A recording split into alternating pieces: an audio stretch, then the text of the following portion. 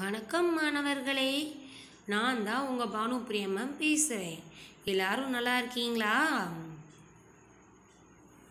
நம்ம பாடம் பதினேழு. சிறிய உருவம் பெரிய உலகம். அந்த பாடத்தை ஆன்லைன் கிளாஸில் பார்த்தோம் இல்லையா? இப்போ அதோட கிளாஸ் ஒர்க் எழுதலாமா? வாங்க. பாடம் பதினேழு. சிறிய உருவம் பெரிய உலகம். பொருள் எழுதுக. வியப்பு. வியப்புக்கு இன்னொரு பெயர் என்னம்மா? ஆச்சரியம். மகிழ்ச்சி. இன்பம். ஆசை. விருப்பம். எதிர்ச்சொல். உள்ளே. உள்ளேக்கு எதிர்ச்சொல் வெளியே. சிறியதாக.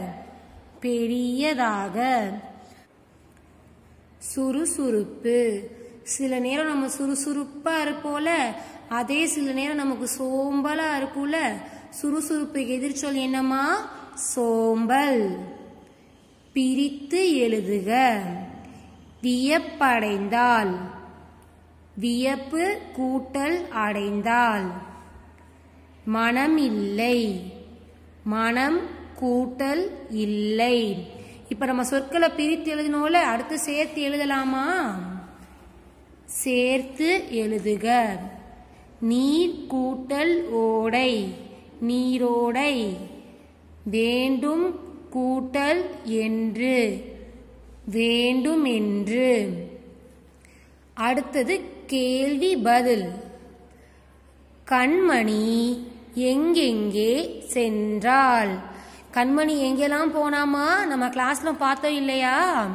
கண்மணி எறும்பு புற்று தேன்கூடு மற்றும் நீரோடைக்குள் சென்றாள். அடுத்த கேள்வி கண்மணி எவற்றை கண்டு வியந்தாள்? கண்மணி என்னெல்லாம் பார்த்து வியந்தாமா? கண்மணி எறும்புகளின் சேமிப்பை கண்டும் சிறிய தேனீக்கள் செய்கின்ற செயல்களை கண்டும் வியந்தாள்.